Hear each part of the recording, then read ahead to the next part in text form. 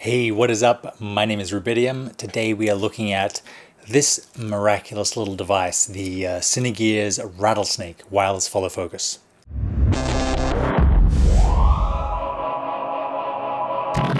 Focus is an absolutely huge issue on set. If your imagery isn't sharp, you're not going to be able to use it.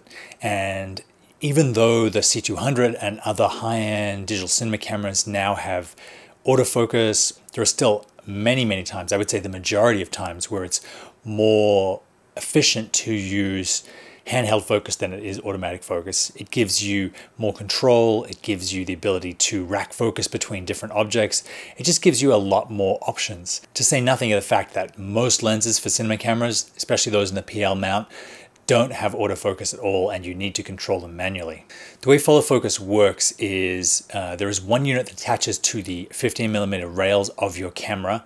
There's another unit that you get to hold in your hand like this with a little dial and you're able to um, move the dial and uh, move the focus point of the camera around. The rattlesnake is unique because it has the added feature of vibration.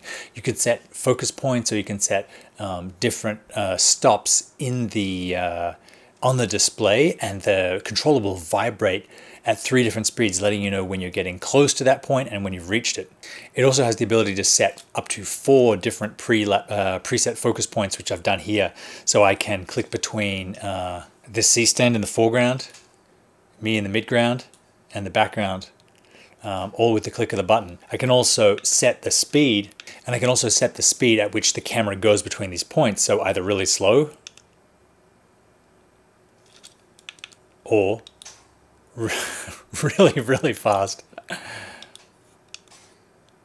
There are a couple of mid-range follow focuses on the market, um, but nothing with the build quality, and especially nothing with a screen uh, like the Rattlesnake has, gives you, you know, a heap more options the first thing you want to do once you've connected this to your lens and you can either use the uh, if your lens has um, a focus ring on it you connect you snap it into that. If it doesn't it comes with one or you can buy separate ones for PL mount or um, non-cine style lenses.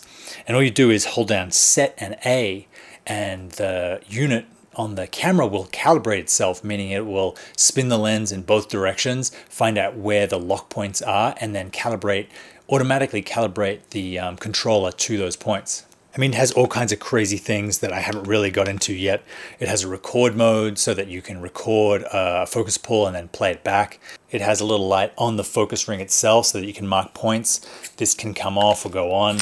The range, uh, though I haven't tested it, is a couple of hundred feet, and you could potentially be pulling focus in uh, on a car rig from another car, um, even if uh, another car gets in front of you. It comes with this awesome lanyard have it around your neck as you're uh, as you're using it on set. You don't have to find somewhere to put it down.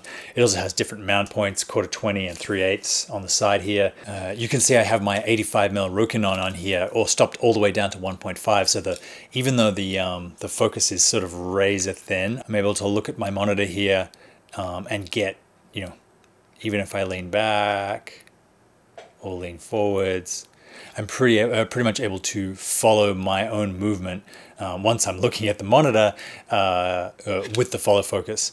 And this has been something that's um, especially for people who record themselves like I do or people who work remotely.